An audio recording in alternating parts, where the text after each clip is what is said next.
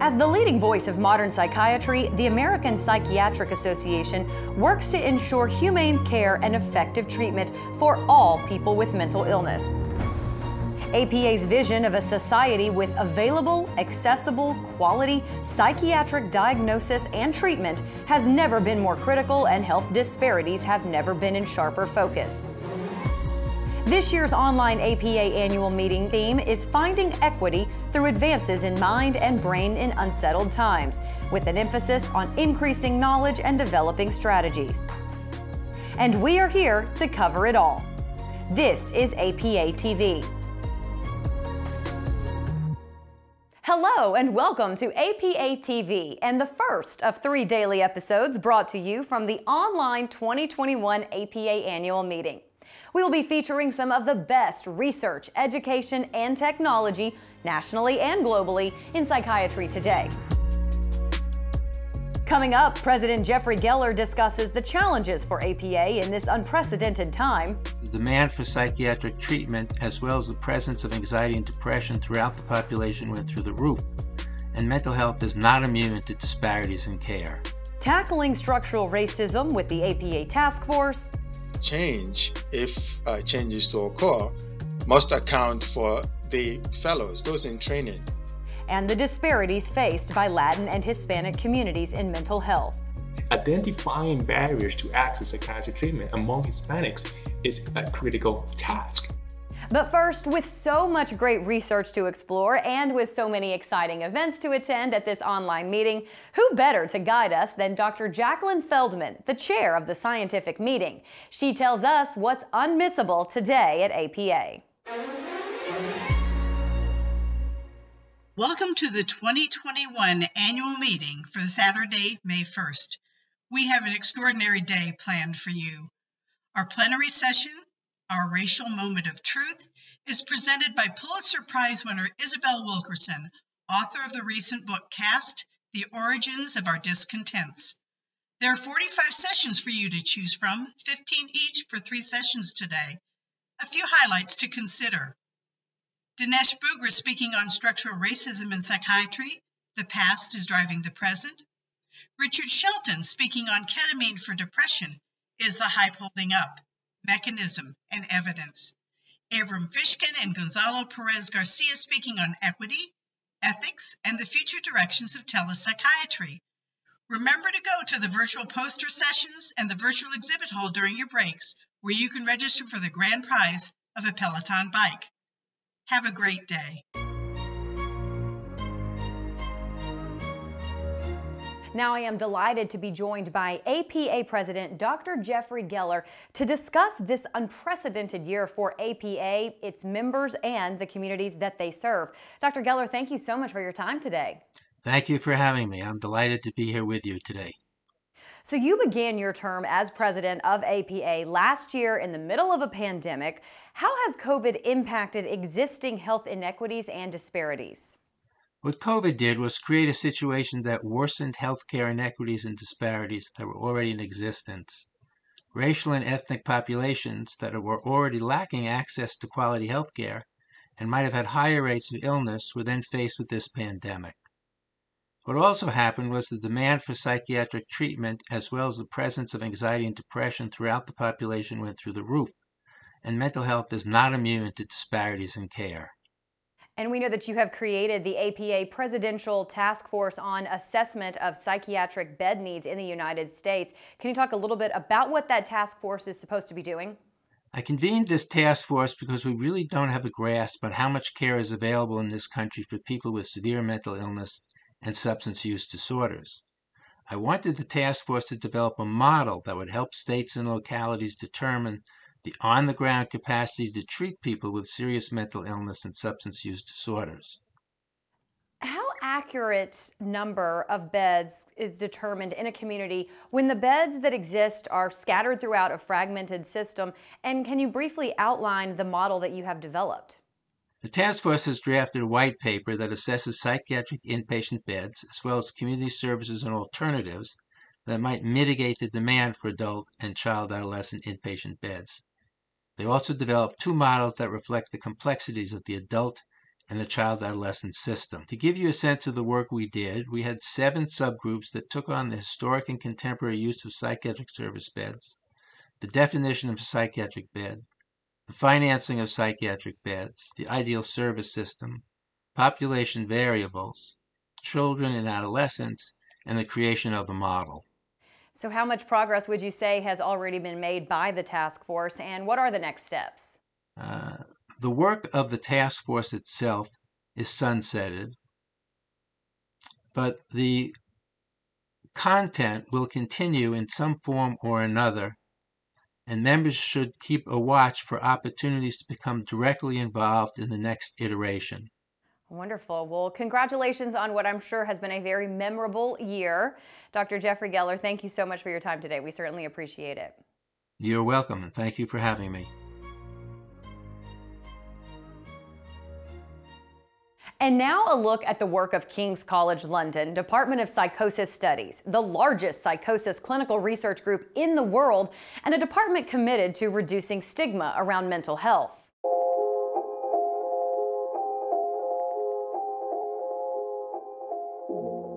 We want to improve clinical care for patients with psychosis through research.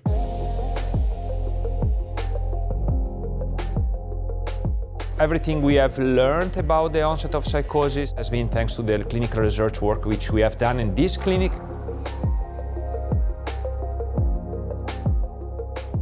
We can ask patients what they're doing, how they're feeling, to predict what kind of support these individuals might need.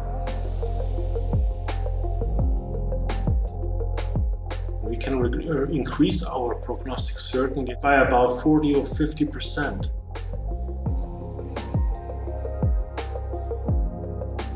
We'd like to develop devices or tools to personalise the assessment and treatment of patients with psychosis.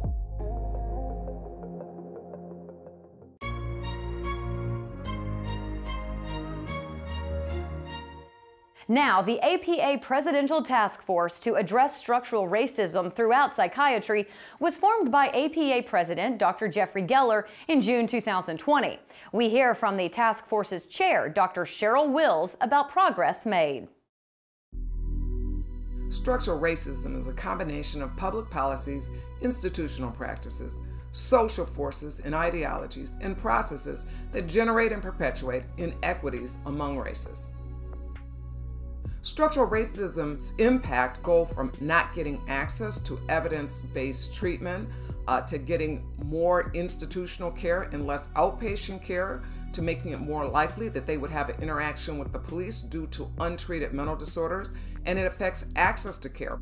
Just from the diagnosis, from your presentation, from treatment, and from the quality of care that uh, black patients get, uh, all of them are affected by structural racism a, a black uh, patient is more likely to be seen as suffering from a psychotic disorder when they are in fact suffering from a mood disorder.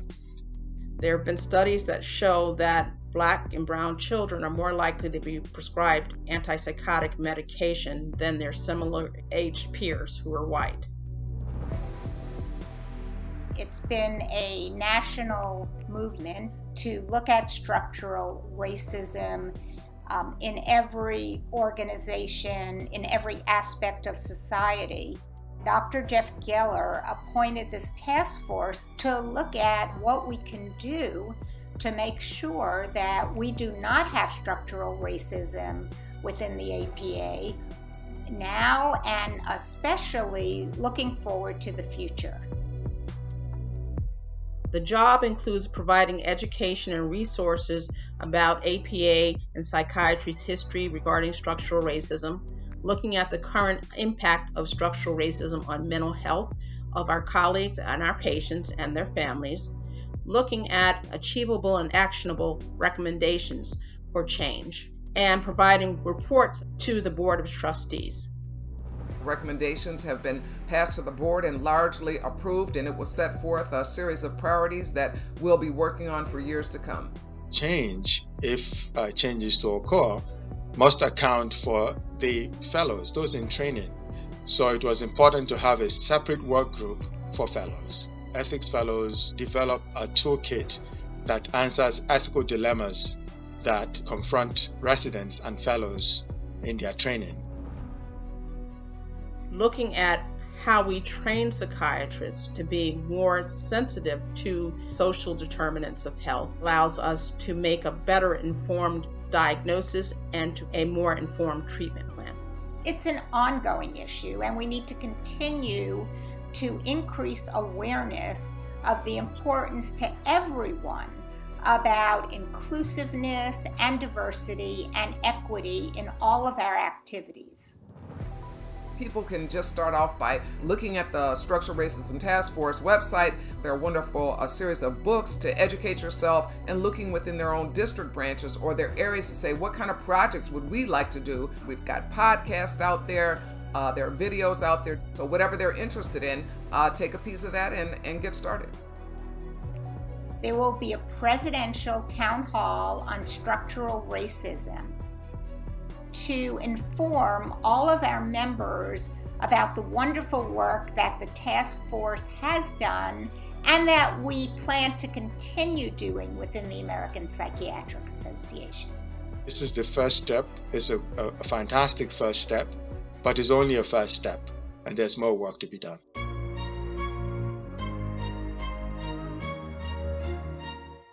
Next up, People USA provides people living with mental health or addiction issues with the high quality, effective peer services and behavioral health care. This nonprofit is 100% made up of people with their own lived experience with mental health or addiction issues. People USA is what's known as a peer-run organization. The mission of People is to educate, empower, and support people that are dealing with mental health and substance use issues, but to offer them the education that can help them support a better quality of life for themselves. A peer-run nonprofit means that all of our staff have lived experience, whether that's substance abuse, mental health, or trauma. So they have an in-depth understanding of what the person we're serving is going through. I think the future of People USA is to continue the work we're doing, to, to change the paradigm, to work with traditional uh, models of care in behavioral health. So I look at us as disruptive innovators and working in a system that has been very traditional and fixed on illness and move it towards more of a system that's focused on wellness.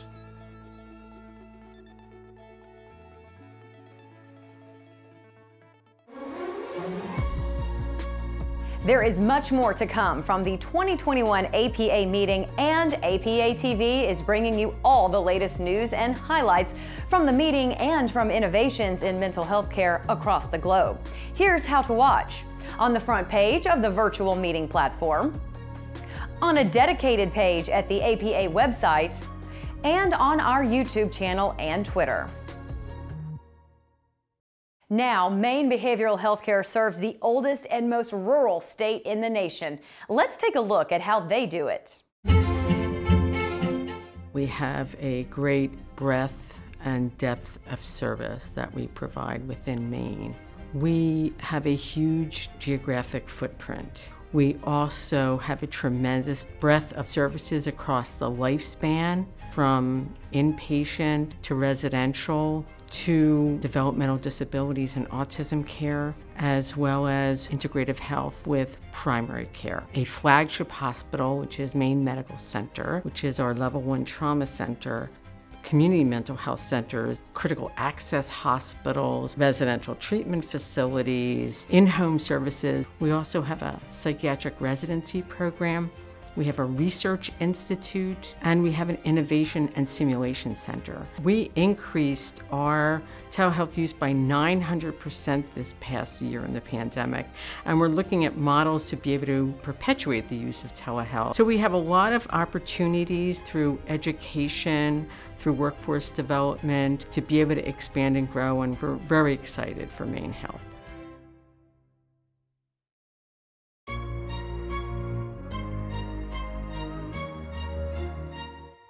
Improving access to mental health care is a central part of APA's work. Next up is a look at addressing barriers to access for Latinx and Hispanic communities. Hello, my name is Dr. Hector, Dr. Colon Rivera. I'm the president for the Hispanic Caucus on the APA, and I want you to invite you guys to the Latinx Hispanic communities and mental health, identifying barriers to access and potential solutions during unsettled times. Our presenters include uh, Dr. Mauricio Tohen from the University of New Mexico. He will be talking about the epidemiology, risk factor, clinical characteristic of Latinx Hispanic patients for psychotic episodes. Then Bernardo N.J., University from the University of California, San Diego, will talk about emotional impact of the pandemic in Mexico and how the, our communities manage that stress. Dr. Ruby Castilla Puentes from Temple and Drexel University will talk about some of her research on artificial intelligence and access to depression treatment in Hispanic and Latinx communities during and after the pandemic. I'm really excited about this group of presenters. The health of a population is influenced by both its social and economic circumstances and the healthcare services they receive. Latinx and Hispanic face different barriers to receiving mental health care services. Some of these barriers result from the low socioeconomic status, others are due to specific cultural characteristics, degrees of acculturation, language, and immigration status. Identifying barriers to access psychiatric treatment among Hispanics is a critical task. I want to see you guys on this presentation. You will learn to assess, treat, and identify these barriers so you can help your patients. Thank you.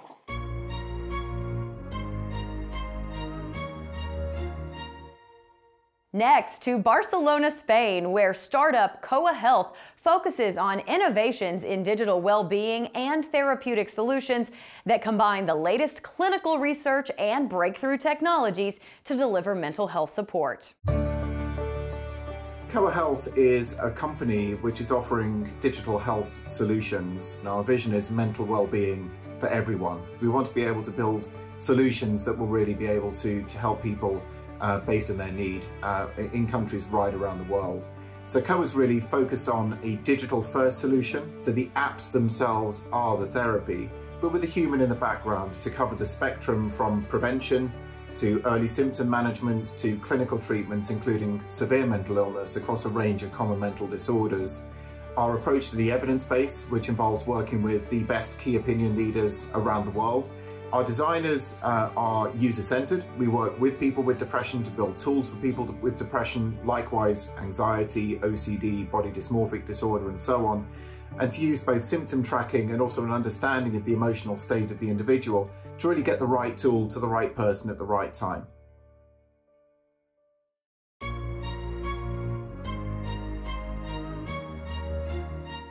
That is it for now from the online 2021 APA meeting, but there are more episodes to come.